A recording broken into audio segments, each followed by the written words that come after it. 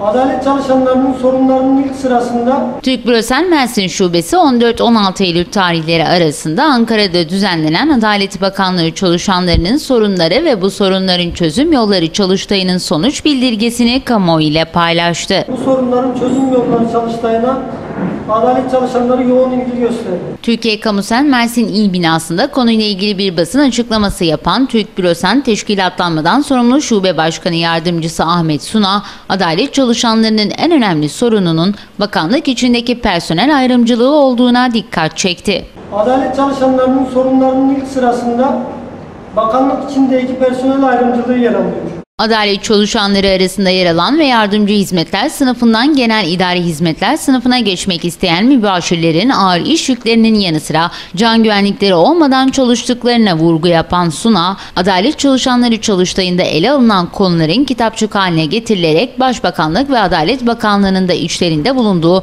birçok kuruma iletileceğini de sözlerine ekledi. Adalet çalışanları çalıştayında ele alınan sorunlar ve çözüm önerileri bir kitapçık haline getirilecek. Başta Başbakanlık, Adalet Bakanı ve Adalet Bakanlığı büro- bürokratları olmak üzere Cumhuriyet Başsavcıları, ESYK ve adalet çalışanlarına iletilecektir.